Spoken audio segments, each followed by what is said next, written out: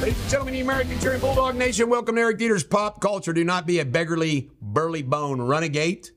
Joey Chestnut will not defend his title at Nathan Hot Dog's big national championship. He has been banned from the event, disqualified. All over a wiener selection, I think. Lopez and Affleck have listed their $60 million marital home. Oh, Billy Ray Cyrus is getting divorced and annulled after only seven months to this younger woman. Hmm. Kim Kardashian. I don't get it, folks.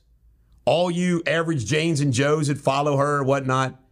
She flew to Paris just to eat a cheesecake and then come back. I mean, that kind of thing. Does that endear you to average Janes and Joes? It turns me off. Kevin Spacey broke down at his interview with Piers Morgan, was crying. He's lost everything. He's bankrupt, he says. He'll come back. Why? Because he won his cases and people lied about him. He confessed to getting a little grabby and things like that. He is a great actor. Rory McIlroy. We put it in sports too. Erica Stoll are staying together. She's beautiful. All right, Ben Potter, who is apparently a comic historian, died accidentally. Sad, sad, sad. And apparently Gisele Budskins.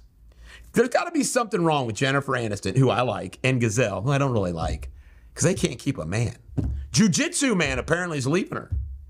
Doesn't like all the press. We'll see. This is the Bulldog. Every dog has their day. Everybody wish Sabrina happy birthday. She's radiating today.